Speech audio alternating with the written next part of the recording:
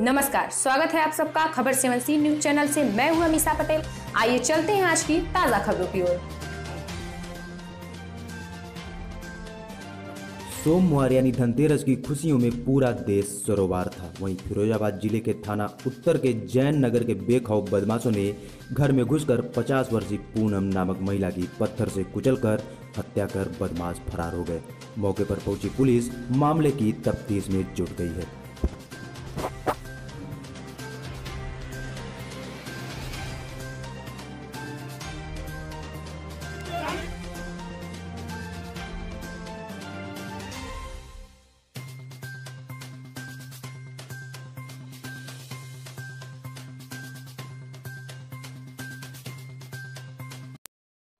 ये उत्तर थाना क्षेत्र का मामला है। जैन नगर कॉलोनी है जहाँ पे एक महिला जो बताया गया उसमें घर में अकेली थी पैंतालीस वर्षीय महिला है।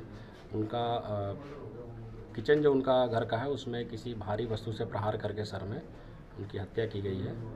और घटना के सभी पहलुओं की जाँच हम लोग कर रहे हैं और शीघ्र ही इस घटना का अनावरण किया जाएगा।